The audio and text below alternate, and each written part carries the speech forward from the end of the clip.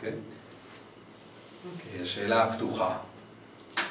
השאלה הפתוחה היא כלי, היא כלי לשינוי. אני פוגש, אני פוגש את מה שיש, והשאלה הפתוחה היא עולה מתוך המפגש עצמו, לפי מה שאני פוגש. כאן אצל ונסה ברגל אני פוגש רגל עם הרבה נוכחות, הרבה, אה, לא הייתי אומר אה, מתח כמו פעילות.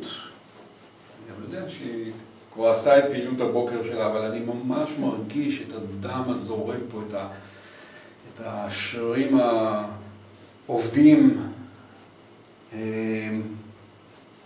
והשאלה שנשאלת היא באמת, אוקיי, זאת רגל חזקה וטובה, ואם היא הייתה גם יותר רכה, היא הייתה מרגישה? איך היה מרגיש עכשיו כשאני נוגע, בלי לוותר בכלל על החוזק, איך זה היה מרגיש שזה היה רך יותר? ואני מיד נהנה מהתחושה הזאת, כי גם אני נזכר באיך זה היה מרגיש אם זה היה רך יותר. וגם היא נזכרת באיך זה מרגיש כשזה רך יותר.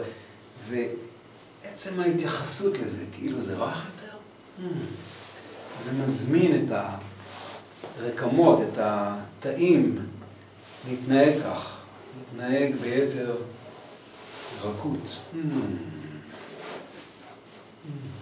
ואז אני יכול להעמיק את השאלה, ושאלה מאוד מאוד פשוטה.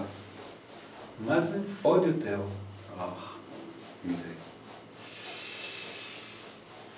אתם רואים שאחד הדברים היפים בשאלה הפתוחה, שהיא תמיד עובדת בשני הכיוונים, גם אצלי, גם בגוף שלי, משהו נעשה רך יותר.